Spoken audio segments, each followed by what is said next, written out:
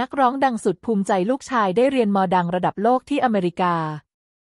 เมื่อเดือนก่อนมีรายงานข่าวออกมาว่านักร้องชื่อดังยุนมินซู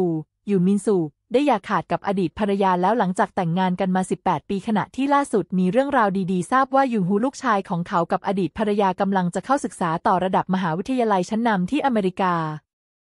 โดยยุนมินซูได้แชร์บนโซเชียลมีเดียของเขาว่า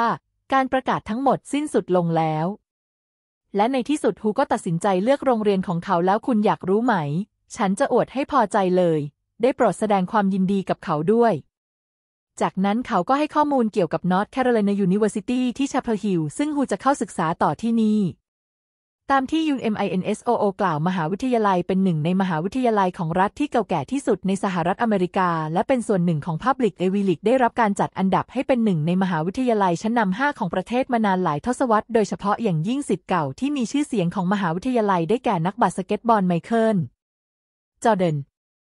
ยุนมินซูเพิ่มแฮชแท็กด้วยว่า ความภาคภูมิใจของครอบครัว ในโพสต์เพื่อแสดงความภาคภูมิใจในตัวลูกชายของเขา